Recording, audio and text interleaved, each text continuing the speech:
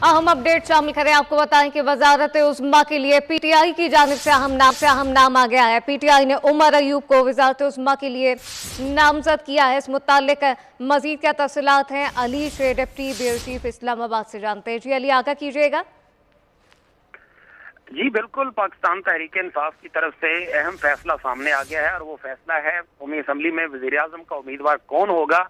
इसके लिए मुख्तलिफ़ नाम जो थे, वो जेर गर्दिश थे। तो उसमें जो है, वो उमर अयूब खान जो कि पार्टी के सेक्रेटरी भी हैं, उनको नामजद किया है बानी चेयरमैन पी टी आई ने। और ये ऐलान जो है, असद कैसर सबक स्पीकर, कौमी सभी उन्होंने आज अदालती हुक्म पर बानी चेयरमैन पी टी आई से अडयाला जेल में मुलाकात की और उन्होंने अडयाला जेल के बाहर मीडिया से गुफ्तु की। और उसमें उन्होंने बताया कि उमर अयूब खान जो है उनको नॉमिनेट कर दिया गया है फॉर प्राइम मिनिस्टर और दूसरी तरफ़ जो है, उनका यह भी कहना था कि उनके जो भाई हैं आकेबुल्ला उनको स्पीकर खैबर पख्तूनखा असम्बली के लिए नामजद कर दिया गया है। ये दो अहदों की अनाउंसमेंट जो है, वो पीटीआई की तरफ़ से क्लियर सामने आ चुकी है। दूसरी तरफ़ असद कैसर का ये कहना था कि जितनी भी एहतजाज करने वाली जमातें हैं, उसमें बतौर खास उन्होंने नाम लेके कहा कि जमीयत इस्लाम जमात इस्लामी एएनपी और जितनी भी कौम परस्त जमातें इस वक्त एहतजाज कर रही हैं, उन सब के साथ रबतों का टास्क जो है वो असद कैसर को बानी चेयरमैन ने दे दिया है और उनसे रबते करेंगे और वो मुश्तर एहतजाज की हमत अमली तय करेंगे। उन्होंने ये भी कहा कि बानी चेयरमैन पीटीआई जो है, वो आज शाम तक जो है एहतजाज की तारीख का ऐलान करेंगे। तो ये कुछ इंपॉर्टेंट डेवलपमेंट्स हैं उनके हवाले से। और एक इम्पोर्टेंट बात अगर कहा जाए कि पीटीआई ने एक सबक सीखा है और वो ये कि जब उनसे ये सवाल किया गया कि कहीं ऐसा तो नहीं होगा कि माजी की तरह आप फिर जो है वो असम्बली में बैठे और फिर इस्तीफे दे के बाहर आ जाएँ। तो उन्होंने कहा कि इस बार जो है वो ऐसा नहीं होगा।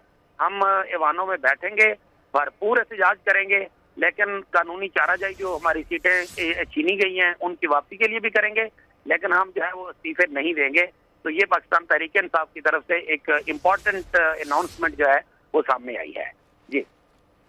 अहम इंपॉर्टेंट अनाउंसमेंट सामने आई है एहतजाज करने वाली जमातों से भी रबता करेंगे। अली सर, इस हवाले से भी बताइएगा कि 16 फरवरी को अब एक 10 सियासी जमातों की जानब से भी एहतजाज होने जा रहा है तो उनसे भी मिल बैठ के कोई बात करने की कोई क्लू दिया गया है?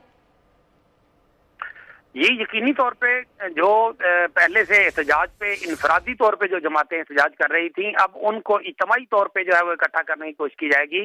और बाहिर यही लगता है कि कल जब मौलाना फजल रहमान से प्रेस कॉन्फ्रेंस में सवाल किया गया था, पीटीआई के हवाले से, कि आप जब कह रहे हैं कि हम अपोजिशन में बैठेंगे तो क्या आप पीटीआई के साथ बैठेंगे? तो उसके जवाब में उनका ये कहना था कि हमारा कोई जिस्मों का झगड़ा नहीं, दिमागों का है, यानी नजरियात का है तो उसमें भी कोई लचक पैदा हो जाएगी। उन्होंने इस तरह से उम्मीद ज़ाहिर की थी कि पीटीआई जो है वो लचक पैदा करेगी। ज़ाहिर मौलाना भी इसी तरह से उन्होंने लचक पैदा की। फिर एक और सवाल के जवाब में भी उन्होंने ये कहा कि अगर कोई एक शख्स जो है वो कहता है कि खुदा एक है और दूसरा उसका मुखालफ है और वो भी कहता है खुदा एक है तो इसमें गलत बात कौन सी है? दोनों एक चीज़ पे इतफाक कर रहे हैं। इशारा उनका दावली की तरफ़ था कि अगर पीटीआई भी दावली की बात कर रही है, कि दावली हुई है, हम भी दावली की बात कर रहे हैं तो जो है बाहिर उन्होंने बगैर कहे ये बात कही कि हम मिलकर चल सकते हैं। और अभी जिस तरह की शख्सियत यानी असद कैसर साहब को टास्क किया गया है तो असद कैसर जो है, वो पहले भी एक पोलिटिकल आदमी है और उन लोगों में शामिल थे जो अगर के उन्होंने पार्टी चेयरमैन के फैसले पे अमल तो किया,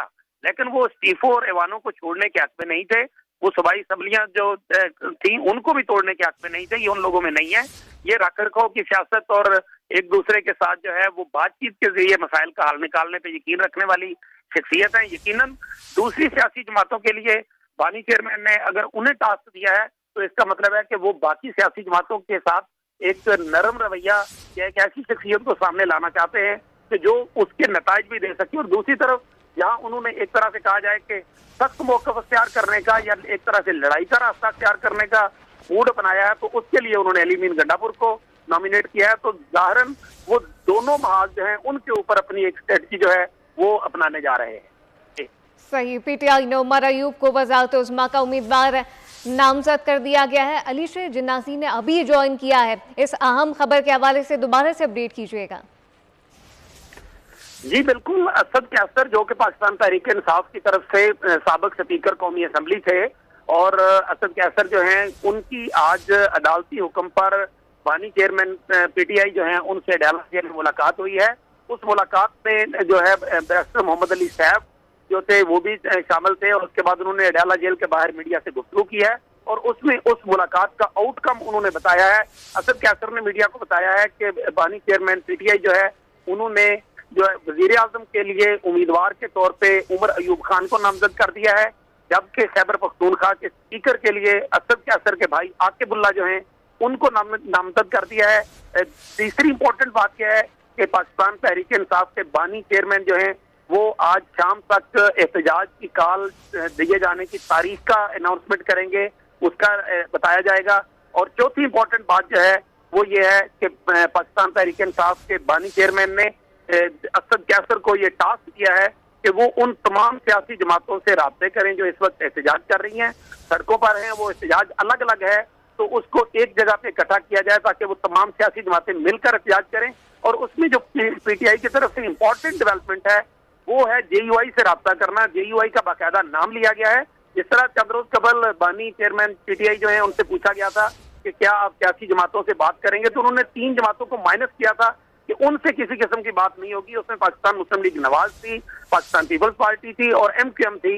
उनके वाले से इनका ये कहना था कि इन तीनों बड़ी जमातों ने हमारा मैंडेट चुराया है, बाकी जमातों का मैंडेट भी चुराया तो इसलिए हम इनसे बात नहीं करेंगे। उस वक्त भी ये बानी खेज क्वेश्चन सामने आया था कि इसमें जेयूआई का नाम जो है वो बानी पीटीआई ने नहीं लिया।